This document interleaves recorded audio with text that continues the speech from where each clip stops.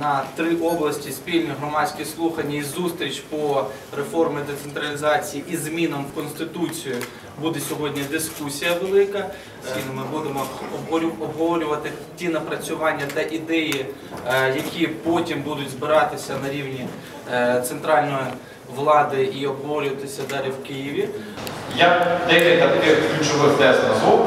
Перше, що дуже приємно, що дає підстави дивитися на цей процес достатньо позитивно, це те, що на всіх майданчиках, де відбувається таке обговорення, звучить одна теза, що зміни до Конституції вносити необхідно для того, щоб комплексно завершити реформу місцевого самоврядування, територіальної організації влади, те, що ми називаємо децентралізацією. Розуміємо тоді і перелік повноважень, які мають бути, і ресурси, які передані мають бути місцевому самоврядуванню, для того, щоб воно було ефективно. І тоді постає питання, а яку модель місцевого самоврядування ми виберемо, щоб вона могла, працюючи, так уможливити досягнення тих результатів, на які ми сподіваємося.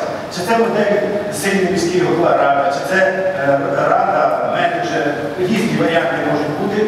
Ми зараз маємо вибирати той варіант, дбаючи про стійкість місцевого самоврядування, про те, щоб місцеве самоврядування мало властивість адаптуватися до змін зовні і мало е, властивість самовдосконалюватися.